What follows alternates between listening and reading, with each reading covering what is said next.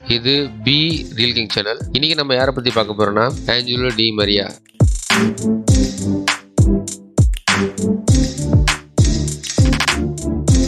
ஒரு நிலக்கரி சுரங்கத்துல வேலை செஞ்ச ஒரு சின்ன பையன் இன்னைக்கு உலகமே தன்னை திரும்பி பார்க்க வச்ச ஒரு கால்பந்தாட்ட விளையாட்டு வீரனா உருவாகி நிற்கிறான் அது எப்படி சாத்தியமாச்சு? இன்னைக்கு இவரை பத்தி ஒரு மூணு விஷயம் நான் உங்களுக்கு சொல்ல போறேன். முதல் விஷயம் என்னன்னா சிறு வயதுல இவரோட வாழ்க்கை எப்படி இருந்துச்சு? ரெண்டாவது இப்போ அவரு என்ன பண்ணிட்டு இருக்காரு? இந்த கிளப்ல ஆடிட்டு இருக்காரு. இவரோட வருட வருமானம் எவ்வளவு? இதை பத்தி நான் உங்களுக்கு சொல்ல போறேன். மூணாவது விஷயம் என்ன சொல்ல போறேன்னா இவரோட விளையாட்டு திறமையை பத்தி சில விஷயங்கள் நான் உங்களுக்கு சொல்ல போறேன். டாபிக் பொறுத்தபடி என்னோட சேனல்ல ஈசவி Tamil Nadu sportsman real story successful people real story technology travel vlog body building fitness tips health tips law of attraction அப்புறம் என்னோட லைஃப் எக்ஸ்பீரியன்ஸ் நடந்த நல்ல நல்ல விஷயங்கள் எல்லாத்தையும் வந்து நான் வீடியோ எடுத்து என்னோட சேனலில் போட்டுட்ருக்கேன் உங்களுக்கு பிடிச்சுன்னா சப்ஸ்கிரைப் பண்ணி வச்சுங்க சரி வாங்க டாபிக் போகலாம் போலாம். இவர் வந்து அர்ஜென்டினால ரொசாரி என்ற இடத்துல வந்து பதினாலு பிப்ரவரி ஆயிரத்தி தொள்ளாயிரத்தி எண்பத்தி எட்டுல பிறந்தாரு. இவரோட குடும்பம் வந்து வறுமை கோட்டுக்கு கீழே உள்ள குடும்பம். இவர் கூட பிறந்தவங்க வந்து இரண்டு சகோதரிகள். இவங்க அப்பா அம்மா வந்து தினசரி கூலி வேலை செய்யறவங்க இவர் சின்ன வயசுல என்ன பண்ணியிருக்காருன்னா இவர் குடும்பத்துக்கு உதவி செய்யணுங்கிறதுக்காக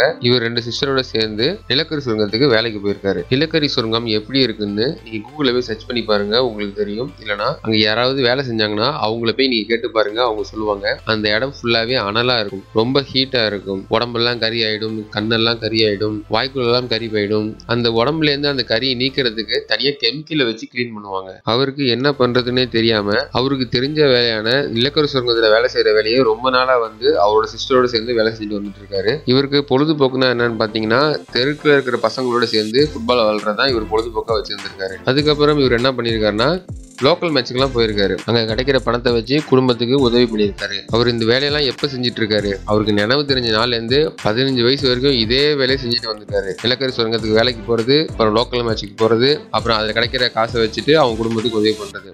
இந்த வேலை தான் அவர் பார்த்துட்டு இருந்திருக்காரு. இவரோட தனி சிறப்பு என்னன்னா இவர் சின்ன வயசுல இருந்தே விளையாடும் போது இடது காலில் தான் ஃபுட்பால் விளாண்டுருக்காரு இது வந்து இவருக்கு ஒரு மிகப்பெரிய அட்வான்டேஜா இருக்குன்னே சொல்லலாம். அதுக்கப்புறம் இவர் வந்து போற எல்லா சின்ன சின்ன லோக்கல் மேட்ச்லயும் இவரோட டீம் வந்து ஜெயிக்குது. அதுக்கப்புறம் இவர் நண்பர்கள்லாம் வந்து சொல்றாங்க நம்ம இப்படியே சின்ன சின்ன லோக்கல் மேட்ச் ஆடிட்டே இருந்தா நம்ம குடும்ப வருமானத்துக்கு பத்தாது. அதனால நம்ம உடனே ஒரு பெரிய கிளப்ல போய் ஜாயின் பண்ணி ஆகணும் அப்படின்னு அவங்க முடிவு எடுக்கிறாங்க டி மரியா என்ன பண்றான்னா அவரோட நண்பரோட சேர்ந்து அந்த ஊர் பக்கத்திலே இருக்கக்கூடிய ஒரு சின்ன கிளப்ல போயிட்டு செலக்ட் செலக்ஷன் ட்ரையல் அட்டன் பண்றாங்க. அந்த கிளப்போட பேர் வந்து ரொசாரியோ சென்ட்ரல் அப்புறம் டி மரியாவும் இவரோட சில நண்பர்களும் அந்த கிளப்ல ஜாயின் பண்றாங்க. இந்த கிளப்ல இவர் ஜாயின் பண்ணும்போது இவருக்கு வயசு பதினேழு. இவர் ரெண்டாயிரத்தி அஞ்சுல இருந்து ரெண்டாயிரத்தி ஏழு வரைக்கும் இந்த கிளப்புக்கு ஆடிருக்காரு இந்த கிளப்ல டி மரியா ஜாயின் பண்ணி விளையாடும் போது அவருக்கு நிறைய அனுபவங்கள்லாம் கிடைக்குது. நிறைய மேட்சுக்கெல்லாம் போறாரு. நிறைய உடற்பயிற்சி எல்லாம் பண்றாரு. நிறைய ஹார்ட் ஒர்க் பண்றாரு. அதுக்கப்புறம் ப்ரொஃபஷனல் ஃபுட்பால் பிளேயரா மாறுறாரு. அதுக்கப்புறம் ரெண்டாயிரத்தி ஏழுல இவர் பக்கத்து கண்ட்ரியான போர்ச்சுகல் நாட்டை சேர்ந்த ஒரு கிளப் அந்த கிளப் பேர் வந்து பெனிஃபிகா அந்த கிளப்ல இருந்து இவருக்கு ஒரு அழைப்பு வருது. ரெண்டாயிரத்தி ஏழுல இருந்து ரெண்டாயிரத்தி பத்து வரைக்கும் எங்க கிளப்ல ஆடணும்னு சொல்லி அங்கிருந்து ஒரு அழைப்பு வருது. அந்த அழைப்பை ஏற்று இவர் என்ன பண்றாருன்னா அந்த கிளப்ல போய் இவர் ஜாயின் பண்றாரு. இந்த கிளப்ல இவர் ஜாயின் பண்ணும்போது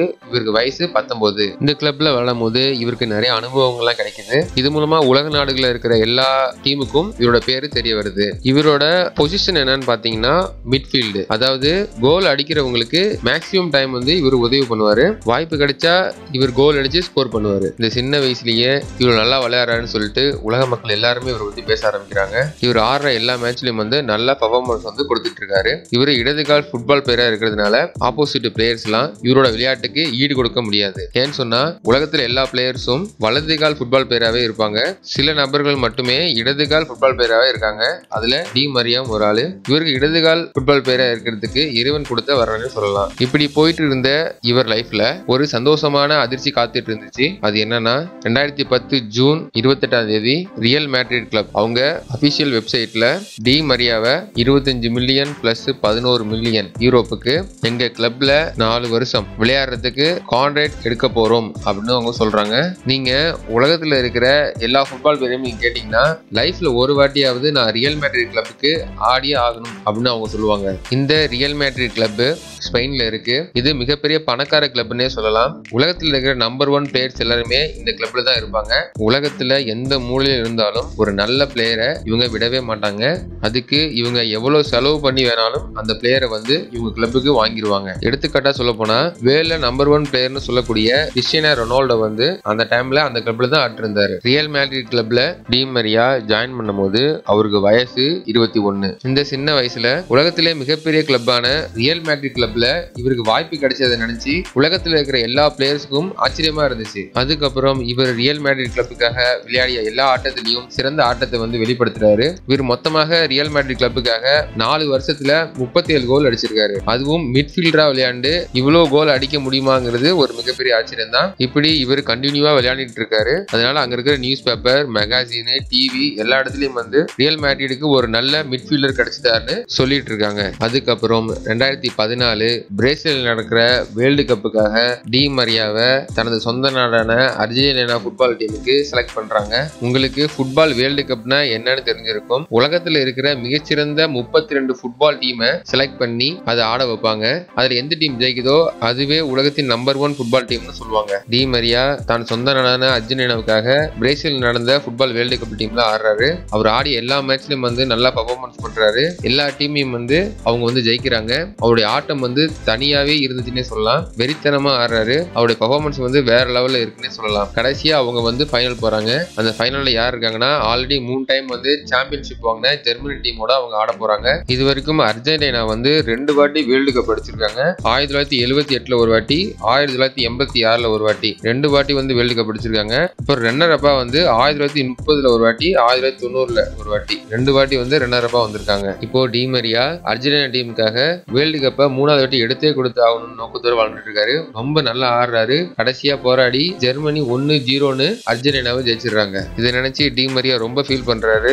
மூணாவது டைமா அர்ஜென்டினா வேர்ல்டு கப்ல ரன்னரா வந்துருச்சு. அப்போ உலகத்துல இருக்கிற எல்லா பிளேயர்ஸும் என்ன சொன்னாங்கன்னா டி மரியாவால அர்ஜென்டினா வேர்ல்டு கப் ஃபைனல் வரைக்கும் வந்தது ரொம்ப பெருமைக்குரிய விஷயம்னு சொன்னாங்க. இந்த டி மரியா நிலக்கரி சுரங்கத்துல வேலை செஞ்சிருந்த ஒரு சின்ன பையன் தனது சொந்த நாடான அர்ஜென்டினா ஃபுட்பால் டீமை பிரேசிலில் நடந்த ஃபுட்பால் வேர்ல்டு கப் ஃபைனல்ல வெற்றிக்கு மிக அருகாமையில் கொண்டு போன பெருமை டி மரியாதையை சாரும்.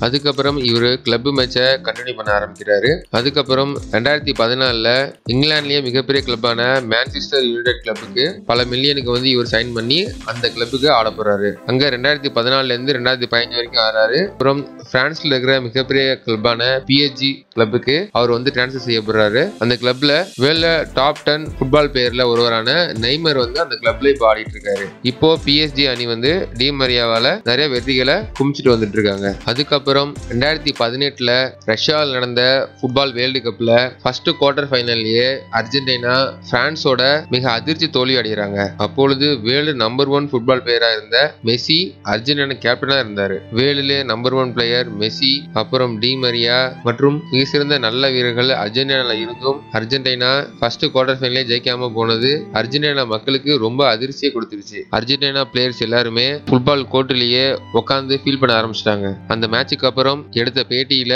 டி மரியா என்ன சொன்னாருன்னா ரெண்டாயிரத்தி இருபத்தி ரெண்டுல கத்தாரில் நடக்கிற வேர்ல்டு கப்ல அர்ஜென்டினா கண்டிப்பா வேர்ல்டு கப்பை அடிச்சே ஆகும் அப்படின்னு அவர் சொன்னாரு. அதற்கான பயிற்சியை இன்னிலிருந்தே ஸ்டார்ட் பண்றேன் அப்படின்னு அவர் சொன்னாரு. நான் என்ன சொல்ல வரேன்னா உங்களுக்கு தெரிஞ்ச நல்ல ஸ்போர்ட்ஸ்மேன்லாம் நீங்க கேட்டு பாருங்க. அவங்களுக்கு திடீர்னு அதிர்ச்சியா ஜெயிக்காம போயிட்டாங்கன்னா அவங்க உடனே அவங்க பிராக்டிஸை ஸ்டார்ட் பண்ணியிருப்பாங்க.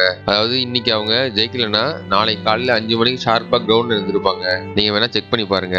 இதனால டி மரியா என்ன சொல்ல வர்றாருன்னா உங்களுக்கு வெற்றி வேணும்னா பயிற்சியால மட்டும்தான் முடியும்னு அவர் சொல்றாரு. டி மரியா சொல்ற இந்த வார்த்தையை நீங்க எல்லா விஷயத்திலும் அப்ளை பண்ணி பார்க்கலாம். நீங்க ஒரு ஃபுட்பால் பிளேயரா இருக்கலாம் ஒரு வாலிபால் பிளேயரா இருக்கலாம் பேஸ்கெட்பால் பிளேயரா இருக்கலாம் அத்லெட்டா இருக்கலாம். ஏன்? நீங்க ஒரு பிசினஸ் மேனா இருக்கலாம் ஒரு ப்ரொஃபஷனல் ஒர்க்கரா இருக்கலாம். நீங்க எந்த ஃபீல்ட்ல ஜெயிக்க போனாலும் அதுக்கு கண்டிப்பா பயிற்சி வேணும். இப்போ டி மரியா ரெண்டாயிரத்தி இருபத்தி ரெண்டு கத்தாரா நடக்கக்கூடிய ஃபுட்பால் வேர்ல்டு கப்பை ஜெயிச்சே ஆகணும்னு பெரியோட பிராக்டிஸ் பண்ணிட்டு வந்துட்டு இருக்காரு. இப்போ டி மரியா பிஎஸ்ஜி பிரான்ஸ்ல இருக்கிற மிகப்பெரிய கிளப்ல ஆடிட்டு வந்துட்டு இருக்காரு. உங்களுக்கு எல்லாருக்குமே ஆரம்பத்திலேருந்து ஒரு டவுட் வந்திருக்கும். இவர் யூரோப் கண்ட்ரில பிறந்திருக்காரு. அதனால அங்க விளையாட்டுக்கு முக்கியத்துவம் கொடுக்குறாங்க. அதனால இவர் நல்ல கிளப்ல ஆடி நல்ல பேர் வாங்கியிருக்காரு. நல்லா ரிச் ஆயிட்டாரு அப்படின்னு உங்களுக்கு தோணும். நீங்க கூகுள்ல சர்ச் பண்ணி பாருங்க. யூரோப் கண்ட்ரில ஃபுட்பால் தான் நம்பர் ஒன் கேம் உலகத்திலே ஃபுட்பால் ஃபேன்ஸ் உள்ள அதிகமான கண்ட்ரீஸ்ல யூரோப் கண்ட்ரிஸ் தான் முதலிடத்துல இருக்கு. அங்க இருக்கிற பேரண்ட்ஸ் எல்லாருமே தன்னோட பிள்ளைங்களை ஃபுட்பால் பிளேயர் ஆக்கணும் தான் விரும்புவாங்க. அங்க தெருக்கு நூறு ஃபுட்பால் பிளேயர்ஸ் இருப்பாங்க. அப்படி காம்படிஷன் இருக்கிற யூரோப் கண்ட்ரில நீங்க தனியா தெரிஞ்சா மட்டும்தான் உங்களால ஃபுட்பால்ல சாதிக்க முடியும். அப்படி வந்தவர் தான் டி மரியா. இவர் சிறு வயசுல அஞ்சு யூரோப்புக்கும் பத்து யூரோப்புக்கும் நிலக்கரி சுரங்கத்துல தன்னோட ரெண்டு சிஸ்டரோட சேர்ந்து வேலை பார்த்த ஒரு சின்ன பையன் இன்னைக்கு உலகத்துல இருக்கிற பணக்கார கிளப்புகள்லாம் பல மில்லியன் கொடுத்து இவரை வாங்கி தன்னோட கிளப்ல ஆட வச்சிட்டு இருக்காங்க. இப்போ இவரோட வருமானம் எவ்வளவு தெரியுமா? வருடத்திற்கு நூத்தி எழுபது கோடிக்கு மேல மாசத்துக்கு பதினாலு கோடிக்கு மேல வாரத்துக்கு மூணு மூணு கோடிக்கு மேல ஒரு நாளைக்கு அறுபத்தி ஏழு லட்சத்துக்கு மேல. இதனால நான் என்ன சொல்லுவேன்னா இறைவன் படைக்கும் போதே எல்லாருக்கும் ஒரு திறமையை கொடுத்து தான் படைச்சிருக்கான். அந்த திறமையை கண்டிப்பா தேடி கண்டுபிடிங்க. சப்போஸ் உங்க திறமையை உங்களால கண்டுபிடிக்க முடியலன்னா நல்ல நண்பர்களை கூட வச்சுக்கோங்க. அவங்க உங்க திறமைய கண்டிப்பா எடுத்து சொல்லுவாங்க. நான் என்ன சொல்லுவேன்னா இப்ப இருக்கிற சூழ்நிலையை வச்சு ஃபியூச்சரை திங்க் பண்ணாதீங்க. அப்படி டிமரியா திங்க் பண்ணியிருந்தாருன்னா நிலக்கரி சுரங்கத்துல அஞ்சு யூரோப்பு வாங்கும் போது அவரு இருபத்தி ஒரு வயசுல இருபத்தஞ்சு மில்லியன் வாங்க போறேன் அப்படின்னு அவர் திங்க் பண்ணியிருப்பாரா கண்டிப்பா இல்லைங்க. டிமரியா தன்னோட விளையாட்டை ரொம்ப லவ் பண்ணாரு. அதனாலதான் அவரு இவ்வளவு உயரத்துக்கு வர முடிஞ்சிச்சு இவ்வளவு சாதனைகள் பண்ண முடிஞ்சிச்சு. அதனால நான் உங்களுக்கு என்ன சொல்லுவேன்னா உங்க விளையாட்டை நீங்க நேசிங்க உங்க வேலையை நீங்க நேசிங்க. அது லைஃப் லாங் ஏதோ ஒரு ரூபத்துல உங்களுக்கு ஹெல்ப் பண்ணிக்கிட்டே இருக்கும்.